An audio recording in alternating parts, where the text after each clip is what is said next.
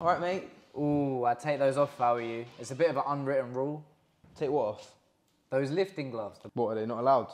they're allowed, it's just frowned upon. People never rack their weights back in this gym.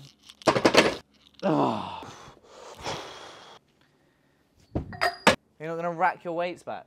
How am I supposed to know you want me to rack them back? It's not written down anywhere. Is it not obvious where they go? Plus, it makes my life easier. Well, it makes my life easier putting them on the floor. That way I can save energy for the next set. Mate, mate, have you seen my new bottle? You can't speak to people when they got headphones on. Since you're here, give me a spot. Mate! Mate! When someone asks for a spot, it means you've got to maintain concentration at all times. Ah, You can't just slam your weights around. Why not? Well, it just disturbs everyone else in the gym. Whilst you're here, do you mind just giving me a spot on this, please? There's some exercises that you just don't ask for a spot on. Well, I helped you out over there. You can help me out over here.